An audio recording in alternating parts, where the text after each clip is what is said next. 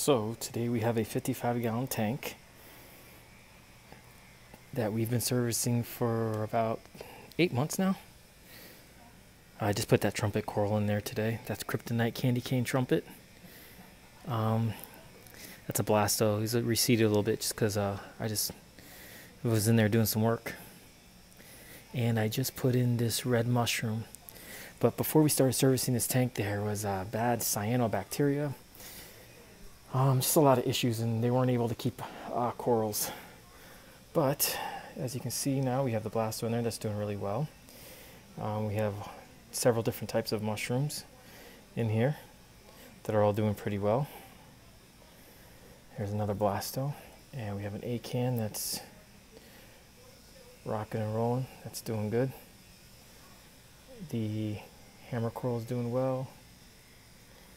Anemone is splitting like crazy. This thing is just popping out babies like left and right.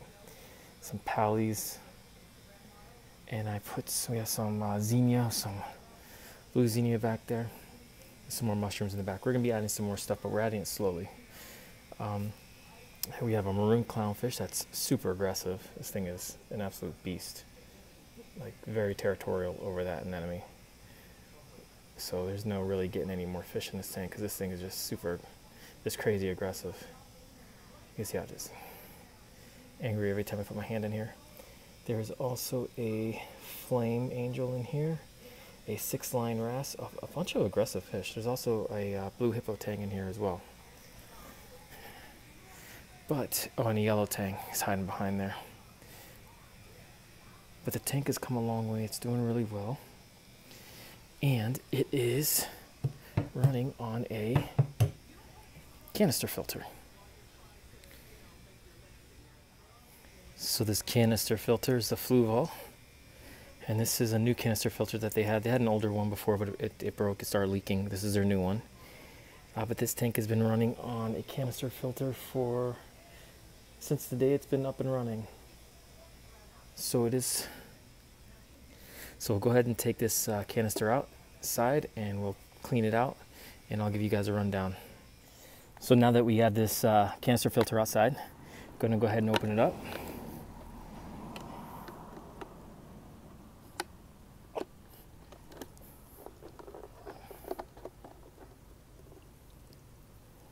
Show you guys what's inside here. So we have some sponge material right here, which helps with filtration by catching some, uh, some debris. But also there's some surface uh, area on there for bacteria to grow, which helps keep the tank, you know, balanced.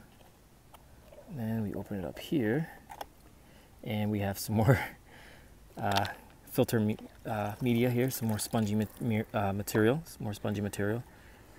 And the same thing, it's, it's going to polish your water, it's going to collect any type of little debris or whatever out of the water.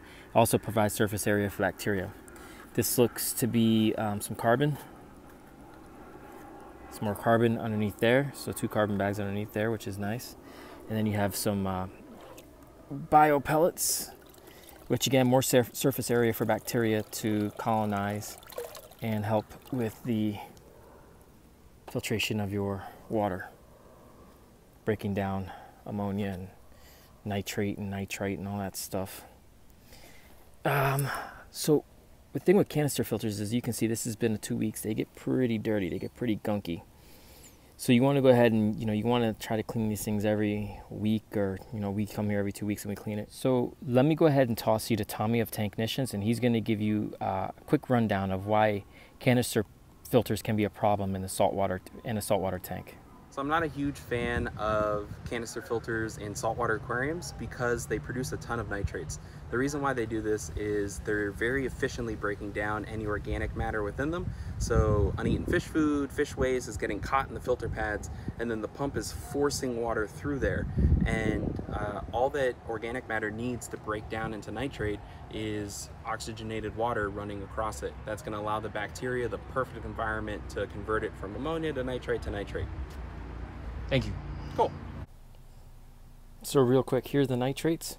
Now they are under five. They're they're not horrible, um, but you can see they're still pretty pretty high for as much as we're here. The water change size that we do. I just did a a good uh, 10, 15 gallon water change on 55 gallons. So, and we do that probably every two weeks. But you can see the nitrates are still are still there. Now, not that this is bad, but you definitely got to stay on top of them.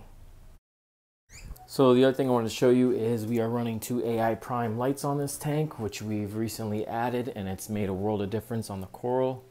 Uh, she had like a current marine light on here before, which was just terrible light. But um, overall, I'm really happy with the, this tank's um, progression. It's doing really well.